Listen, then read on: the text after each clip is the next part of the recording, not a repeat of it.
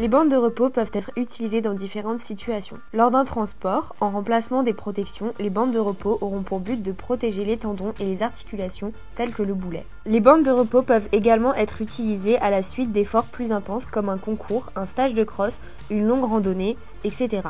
Dans ces cas-là, les bandes auront alors pour effet de resserrer les tissus et de soutenir les tendons et les ligaments.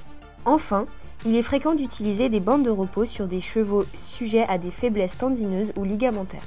Attention, les bandes étant un outil de soin, il ne faut pas les utiliser sans raison, au risque de fragiliser les tendons inutilement. Allez, c'est parti, on attaque la pose. Première étape, placez la flanelle autour du canon sans faire de plis avec une légère tension. La flanelle doit recouvrir la hauteur complète du canon ainsi que le boulet.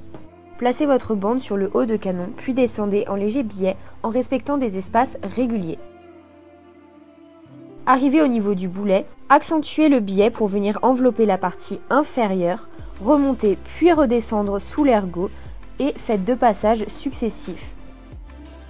Une fois le boulet maintenu, remontez de la même façon que vous êtes descendu, puis refermez le velcro.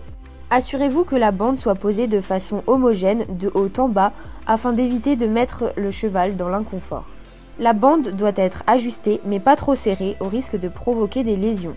En cas de doute, n'hésitez pas à demander conseil à un professionnel. Des bandes de repos mal posées peuvent se révéler dangereuses pour les membres de votre cheval. C'est terminé pour aujourd'hui, n'hésitez pas à nous partager vos expériences. À bientôt pour un nouveau tips.